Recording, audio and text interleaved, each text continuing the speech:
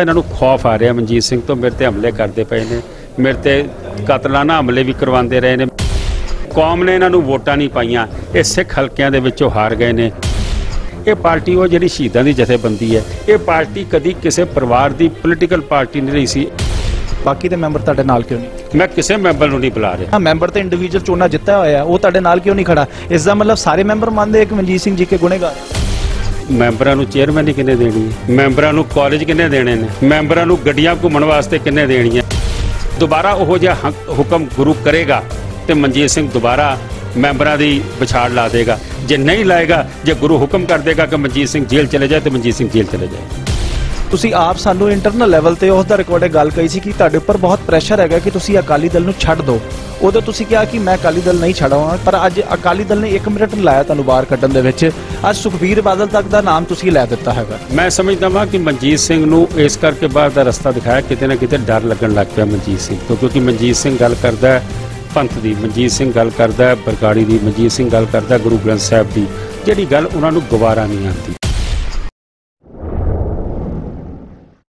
ਜੁੜੇ ਆਪਾਂ ਸਰਦਾਰ ਮਨਜੀਤ ਸਿੰਘ ਜੀਕੇ ਦੇ ਨਾਲ। ਜੀਕੇ ਸਾਹਿਬ ਗੁਰੂ ਫਤਿਹ ਦੀ ਸਾਨ ਕਰਾਂਗੇ। ਵਾਹਿਗੁਰੂ ਜੀ ਕਾ ਖਾਲਸਾ ਵਾਹਿਗੁਰੂ ਵਾਹਿਗੁਰੂ ਜੀ ਕਾ ਖਾਲਸਾ, ਵਾਹਿਗੁਰੂ ਜੀ ਕੀ ਫਤਿਹ। ਅੱਜ ਕਿਉਂ ਇਹ ਸਮਾਂ ਆ ਗਿਆ ਕਿ ਦਿੱਲੀ ਕਮੇਟੀ ਹੀ ਆਪਣੇ ਪੂਰਬ ਪ੍ਰਧਾਨ ਤੇ ਜੋ ਕਿ 6 ਸਾਲ ਤੁਸੀਂ ਦਿੱਲੀ ਕਮੇਟੀ ਦੇ ਪ੍ਰਧਾਨ ਰਹੇ, ਅਕਾਲੀ ਦਲ ਦੇ ਦਿੱਲੀ ਦੇ ਪ੍ਰਧਾਨ ਰਹੇ, ਔਰ ਅੱਜ ਇਹ ਮਿਆਰ ਆ ਗਿਆ ਰਾਜਨੀਤੀ ਦਾ ਕਿ ਆਪਣੇ ਪੁਰਾਣੇ ਪ੍ਰਧਾਨ ਦੇ ਖਿਲਾਫ ਜਿਹੜੇ ਕਿ ਕੋਰ ਕਮੇਟੀ ਦੇ ਵਿੱਚ ਵਾਸ ਕੀਤਾ ਜਾ ਰਿਹਾ ਕਿ ਉਹਨੂੰ ਕੱਢਿਆ ਜਾਵੇ ਔਰ ਬਕਾਇਦਾ ਕੱਢਿਆ ਨਹੀਂ ਜਾਵੇ। ਜਿਹੜੇ ਗੁਰਮੀਤ ਸਿੰਘ ਸ਼ਲਟੀ ਨੇ ਇਲਜ਼ਾਮ ਲਗਾਏ ਸੀਗੇ ਨਾ ਉਹ ਅੱਜ ਕੋਰ ਕਮੇਟੀ ਲਿਖ ਕੇ ਦੇ ਰਹੀ ਹੈ ਕਿ ਮਨਜੀਤ ਸਿੰਘ ਜੀ ਕੇ ਤੇ ਇਹ ਬਿਆ ਇਹ ਜਿਹੜੇ ਹੈਗੇ ਆ, ਇਹ ਇਲਜ਼ਾਮ ਹੈਗੇ ਨੇ ਤੇ ਅੱਜ ਅਸੀਂ ਇਸ ਕਰਕੇ ਉਹਨੂੰ ਪਾਰਟੀ ਤੋਂ ਕੱਢ ਰਹੇ ਹਾਂ। ਮੈਂ ਸਮਝਦਾ ਇਹ ਇਲਜ਼ਾਮ ਮੇਰੇ ਤੇ ਲੱਗੇ ਸੀਗੇ ਅਕਤੂਬਰ ਦੇ ਮਹੀਨੇ ਜਦੋਂ ਮੈਨੂੰ ਕੱਢ ਦੇਣਾ ਚਾਹੀਦਾ ਸੀਗਾ। ਤੁਸੀਂ ਮੈਨੂੰ ਆਖਿਆ ਕਿ ਮੇਰੇ ਤੇ ਇਲਜ਼ਾਮ ਕਿਉਂ ਲਾ ਰਹੇ ਹੋ? ਜਦੋਂ ਗੰਨੇ ਦਾ ਜੂਸ ਕੱਢੀਦਾ ਨਾ ਤੇ ਗੰਨਾ ਜਦੋਂ ਮਸ਼ੀਨ ਚੋਂ ਕੱਢ ਦਈਦਾ ਤੇ ਉਹ ਮੁੱਕ ਜਾਂਦਾ ਕੰਮ ਉਹਦਾ ਕੋਈ ਕੰਮ ਰਹਿੰਦਾ ਨਹੀਂ। ਇਹਨਾਂ ਨੂੰ ਲੱਗਦਾ ਕਿ ਮਨਜੀਤ ਸਿੰਘ ਦਾ ਅਸੀਂ ਗੰਨਾ ਦੇ ਨਿਚੋੜ ਚੁੱਕੇ ਆ ਤੇ ਕਿਤੇ ਨਾ ਕਿਤੇ ਮਨਜੀਤ ਸਿੰਘ ਦੁਬਾਰਾ ਖੜਾ ਨਾ ਹੋ ਜਵੇ ਔਰ ਅਸੀਂ ਇਸ ਨੂੰ ਖਤਮ ਕਰ ਦਈਏ। ਮੈਂ ਸਮਝਦਾ ਵਾਂ ਕਿ ਗੁਰੂ ਮਹਾਰਾਜ ਨੇ ਬੜੀ ਬਖਸ਼ਿਸ਼ ਮੇਰੇ ਤੇ ਕੀਤੀ ਹੈ। ਉਹ ਜਿਹੜਾ ਗੰਨੇ ਦਾ ਫੱਕ ਬਚ ਜਾਂਦਾ ਨਾ, ਉਹਦੀ ਅੱਜ ਕੱਲ ਆਇਲ ਵੀ ਬਣਨ ਲੱਗ ਪਿਆ, ਉਹਦੇ ਵਿੱਚ ਹੋਰ ਕਈ ਚੀਜ਼ਾਂ ਬਣਨ ਲੱਗ ਪਈਆਂ। ਤੇ ਮਨਜੀਤ ਸਿੰਘ ਚੋਂ ਵੀ ਕਈ ਕੁਝ ਬਣ ਸਕਦਾ, ਇਹਨਾਂ ਨੂੰ ਖੌਫ ਆ ਰਿਹਾ ਮਨਜੀਤ ਸਿੰਘ ਤੋਂ, ਮੇਰੇ ਤੇ ਹਮਲੇ ਕਰਦੇ ਪਏ ਨੇ, ਮੇਰੇ ਤੇ ਕਤਲਾਨਾ ਹਮਲੇ ਵੀ ਕਰਵਾਉਂਦੇ ਰਹੇ ਨੇ, ਮੇਰੇ ਤੇ ਸਭ ਕੁਝ ਕਰਦੇ ਰਹੇ ਨੇ। ਲੇਕਿਨ ਆਉਣ ਵਾਲਾ ਸਮਾਂ ਇਹਨਾਂ ਵਾਸਤੇ ਮਾੜਾ ਹੈ ਕਿਉਂਕਿ ਕੌਮ ਨੇ ਇਹਨਾਂ ਨੂੰ ਛੱਡ ਦਿੱਤਾ। ਕੌਮ ਨੇ ਇਹਨਾਂ ਨੂੰ ਵੋਟਾਂ ਨਹੀਂ ਪਾਈਆਂ। ਇਹ ਸਿੱਖ ਹਲਕਿਆਂ ਦੇ ਵਿੱਚੋਂ ਹਾਰ ਗਏ ਨੇ। ਇਹ ਅੱਜ ਡਿਜ਼ਰਵ ਹੀ ਨਹੀਂ ਕਰਦੇ ਐਸਜੀਪੀਸੀ ਔਰ ਦਿੱਲੀ ਕਮੇਟੀ ਦੇ ਵਿੱਚ ਬੈਠਣ। ਤੁਸੀਂ ਬੀਜੇਪੀ ਕਰਕੇ ਤੁਸੀਂ ਮੋਦੀ ਦੀ ਚੜ੍ਹਤ ਕਰਕੇ ਤੁਸੀਂ ਮੋਦੀ ਦੀਆਂ ਵੋਟਾਂ ਕਰਕੇ ਤੁਹਾਡਾ ਵੋਟ ਬੈਂਕ ਵਧਿਆ ਸਿੱਖਾਂ ਕਰਕੇ ਨਹੀਂ ਪਰ ਅਕਾਲੀ ਦਲ ਤਾਂ ਪਹਿਲੇ ਵੀ ਹਾਰ ਰਿਹਾ ਸੀਗਾ ਪੰਜਾਬ ਦੇ ਵਿਧਾਨ ਸਭਾ ਚੋਣਾਂ ਦੇ ਵਿੱਚ ਪਰ ਉਦੋਂ ਤੁਸੀਂ ਕਿਉਂ ਨਹੀਂ ਬੋਲੇ? ਅੱਜ ਤੁਸੀਂ ਬੋਲ ਰਹੇ ਹੋ ਅੱਜ ਜਦੋਂ ਤੁਸੀਂ ਜੋ ਸੀਟਾਂ ਪੰਜਾਬ 'ਚ ਕੱਟ ਰਹੀਆਂ ਤਾਂ ਮੇਰਾ ਖਿਆਲ ਹੈ ਮੇਰਾ ਖਿਆਲ ਹੈ ਤੁਹਾਡਾ ਰਿਕਾਰਡ ਠੀਕ ਨਹੀਂ ਹੈ। ਮੈਂ 2017 ਦੀ 4 ਫਰਵਰੀ ਨੂੰ ਪੰਜਾਬ ਵਿਧਾਨ ਸਭਾ ਦੀ ਵੋਟਾਂ ਸੀ।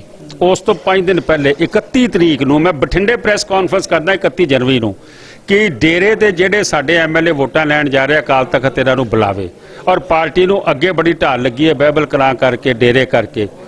ਮੈਨੂੰ ਫੋਨ ਆਂਦਾ ਹਾਈ ਕਮਾਂਡ ਦਾ ਕਿ ਤੁਸੀਂ ਦਿੱਲੀ ਚਲੇ ਜਾਓ, ਅੱਜ ਤੋਂ ਬਾਅਦ ਬਿਆਨ ਨਹੀਂ ਦੇਣਾ। ਤੁਸੀਂ ਕਹ ਰਹੇ ਹੋ ਮੈਂ ਅੱਜ ਬੋਲਦਾ ਪਿਆ।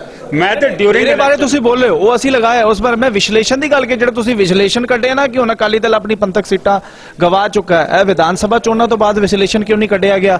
ਅੱਜ ਕਿਹਾ ਜਾ ਰਿਹਾ ਹੋਰ ਲੋਕਾਂ ਨੂੰ ਪਤਾ ਹੈ ਕਿ ਐਸੇ ਬਿਆਨਾਂ ਤੋਂ ਬਾਅਦ ਦੇ ਕਾਰਨ ਹੀ ਕੋਰ ਕਮੇਟੀ ਇਹ ਫੈਸਲਾ ਲੈ ਰਹੀ ਕਿ ਮਨਜੀਤ ਸਿੰਘ ਜੀਕੇ ਨੇ ਜੋ ਇਹ ਬਿਆਨ ਦਿੱਤੇ ਹੈਗੇ ਨੇ।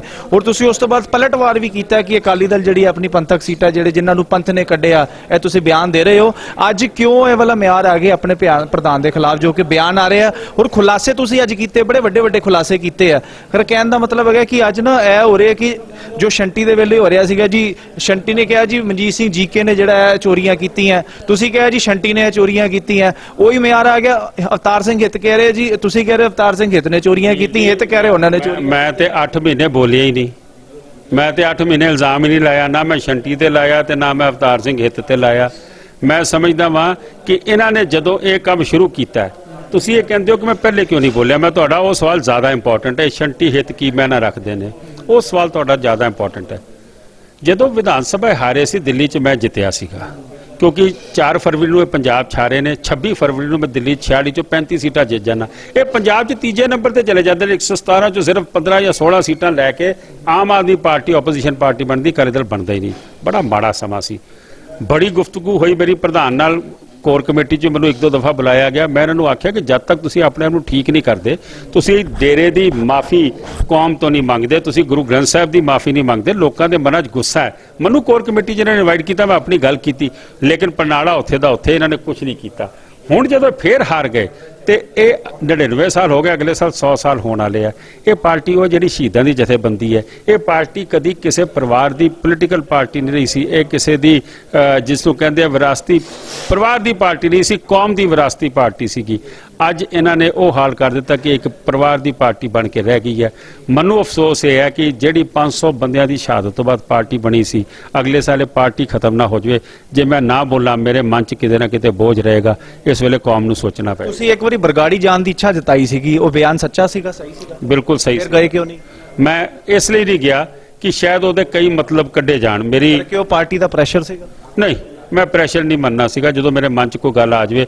ਮੈਨੂੰ ਲੱਗਦਾ ਸੀਗਾ ਕਿ ਕਿਤੇ ਬਰਗਾੜੀ ਵਾਲੇ ਕਹਿਣ ਕਿ ਸਾਡੇ 'ਚ ਲੀਡਰੀ ਕਰਨ ਆ ਰਿਹਾ। ਲੇਕਿਨ ਮੈਂ ਆਪਣੀ ਸਹਿਮਤੀ ਉਹਨਾਂ ਦੇ ਕੌਜ਼ ਨਾਲ ਦਬਾ ਦਿਖਾ ਦਿੱਤੀ ਸੀਗੀ। ਤੁਸੀਂ ਕਹਿ ਰਹੇ ਹੋ ਚਲੋ ਪਾਰਟੀ ਦਾ ਦਬਾਅ ਨਹੀਂ ਸੀ ਫਿਰ ਉਦੋਂ ਤੇ ਪਾਰਟੀ ਦਾ ਦਬਾਅ ਹੋਏਗਾ ਨਾ ਜਦੋਂ ਅਵਤਾਰ ਸਿੰਘ ਹਿੱਤ ਤੇ ਤੁਸੀਂ ਅੱਜ ਇਲਜ਼ਾਮ ਲਗਾ ਰਹੇ ਹੋ ਕਰੈਕਟਰ ਦੇ ਜਾਂ ਅ, ਜਾਂ ਘੁਟਾਲਿਆਂ ਦੇ ਜਾਂ 84 ਦੇ ਟਾਈਮ ਤੇ ਫਿਰ ਵੀ ਉਹ ਪਾਰਟੀ ਦੇ ਵਿੱਚ ਤੁਹਾਡੇ ਨਾਲੋਂ ਨਾਲ ਸੀਗੇ ਤੁਹਾਡੇ ਹੁੰਦੇ ਆ ਉਹ ਪ੍ਰਧਾਨ ਵੀ ਬਣੇ ਪਟਨਾ ਸਾਹਿਬ ਦੇ ਫਿਰ ਤਾਂ ਪਾਰਟੀ ਦਾ ਪ੍ਰੈਸ਼ਰ ਹੋਏਗਾ। ਦੇਖੋ ਸਿਆਸਤ ਦੇ ਵਿੱਚ ਨਾ ਤੁਸੀਂ ਇਹ ਨਹੀਂ ਕਹਿ ਸਕਦੇ ਕਿ ਮੇਰੇ ਇੱਕ ਨੰਬਰ ਤੇ ਕੌਣ ਬੈਠੇਗਾ ਦੋ ਤੇ ਕੌਣ ਬੈਠੇਗਾ, ਚਾਰ ਤੇ ਕੌਣ ਬੈਠੇਗਾ।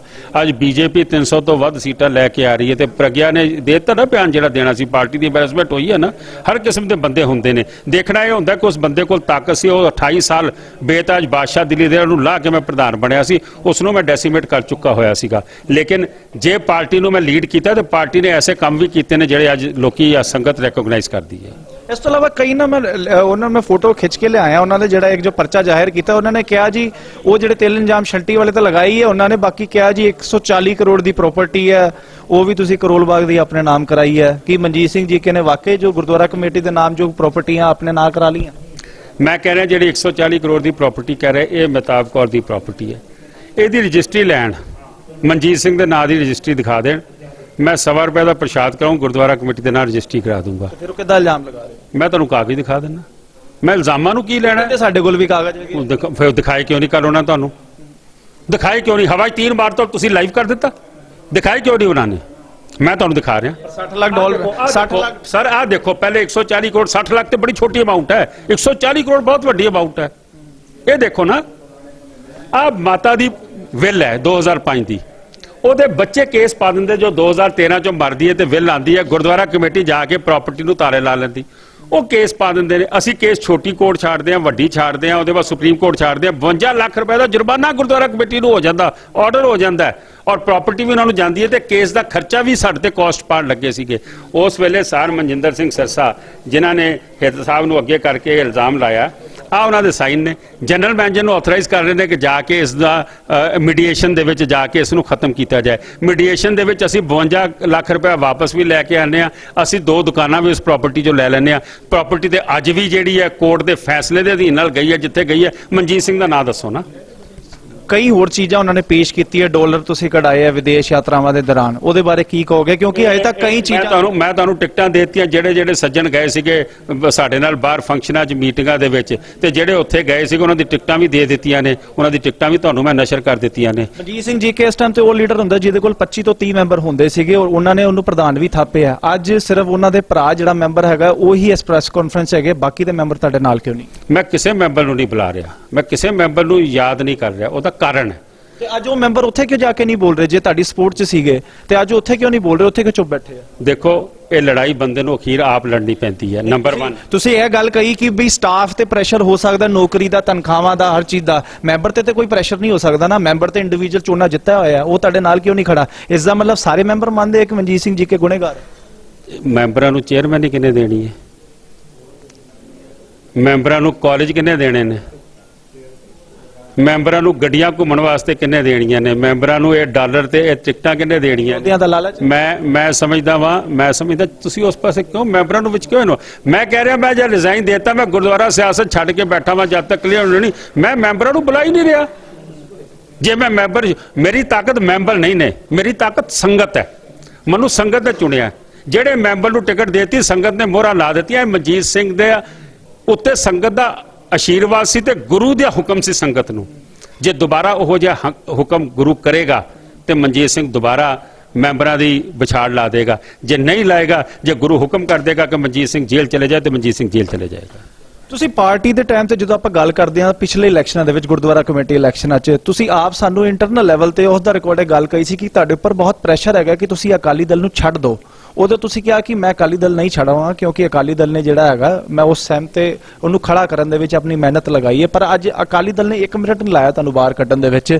ਅੱਜ ਸੁਖਬੀਰ ਬਾਦਲ ਤੱਕ ਦਾ ਨਾਮ ਤੁਸੀਂ ਲੈ ਦਿੱਤਾ ਹੈਗਾ। ਮੈਂ ਸਮਝਦਾ ਵਾਂ ਕਿ ਮਨਜੀਤ ਸਿੰਘ ਨੂੰ ਇਸ ਕਰਕੇ ਬਾਹਰ ਦਾ ਰਸਤਾ ਦਿਖਾਇਆ, ਕਿਤੇ ਨਾ ਕਿਤੇ ਡਰ ਲੱਗਣ ਲੱਗ ਪਿਆ ਮਨਜੀਤ ਸਿੰਘ ਤੋਂ, ਕਿਉਂਕਿ ਮਨਜੀਤ ਸਿੰਘ ਗੱਲ ਕਰਦਾ ਪੰਥ ਦੀ, ਮਨਜੀਤ ਸਿੰਘ ਗੱਲ ਕਰਦਾ ਬਰਗਾੜੀ ਦੀ, ਮਨਜੀਤ ਸਿੰਘ ਗੱਲ ਕਰਦਾ ਗੁਰੂ ਗ੍ਰੰਥ ਸਾਹਿਬ ਦੀ।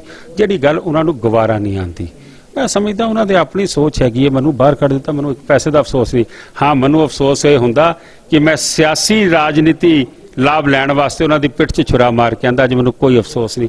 ਉਹਨਾਂ ਨੇ ਕੱਢਿਆ, ਆਉਣ ਵਾਲਾ ਦਿਸ਼ਾ ਨਿਰਦੇਸ਼ ਸੰਗਤ ਤੈਅ ਕਰਦੀ ਫਿਊਚਰ ਕੀ ਹੋਏਗਾ? ਮਨਜੀਤ ਸਿੰਘ ਜੀਕੇ ਦਾ ਲੋਕ ਕੋਈ ਕਹਿ ਰਿਹਾ ਕਿ ਉਹ ਬੀਜੇਪੀ 'ਚ ਜਾਣਗੇ, ਕੋਈ ਕਹਿ ਰਿਹਾ ਆਪਣੀ ਪਾਰਟੀ ਮੋਮਬੱਤੀ ਜਗਾਣਗੇ। ਮਨਜੀਤ ਸਿੰਘ ਜੀਕੇ ਦੇ ਮੂੰਹੋਂ ਸੁਣ ਲਿਓ ਕੀ ਫਿਊਚਰ ਹੈ ਮਨਜੀਤ ਸਿੰਘ ਮਨਜੀਤ ਸਿੰਘ ਜੀਕੇ ਦਾ ਫਿਊਚਰ ਸੰਗਤ ਤੈਅ ਕਰੀ। ਅੱਗੇ ਵੀ ਸੰਗਤ ਨੇ ਤੈਅ ਕੀਤਾ। ਜਥੇਦਾਰ ਸੰਤੋਖ ਸਿੰਘ ਮੇਰੇ ਪਿਤਾ ਦਾ ਫਿਊਚਰ ਵੀ ਸੰਗਤ ਨੇ ਤੈਅ ਕੀਤਾ ਸੀਗਾ। ਅੱਜ ਤੁਸੀਂ ਨਾ ਗੁਰਦੁਆਰਿਆਂ, ਸਕੂਲਾਂ 'ਚ ਕਿਸੇ ਜਗ੍ਹਾ ਚਲੇ ਜਾਓ। ਸਰਨਾ ਸਾਹਿਬ ਤੋਂ ਲੈ ਕੇ ਜਿੰਨੇ ਪ੍ਰਧਾਨ ਰਹੇ ਕੋਛੜ ਸਾਹਿਬ ਸਾਨੀ ਸਾਹਿਬ, ਸੇਠੀ ਸਾਹਿਬ, ਸਿਰਸਾ ਜੀ, ਮਨਜੀਤ ਸਿੰਘ ਸਭ ਦੇ ਪੱਥਰ ਲੱਗੇ ਨੇ।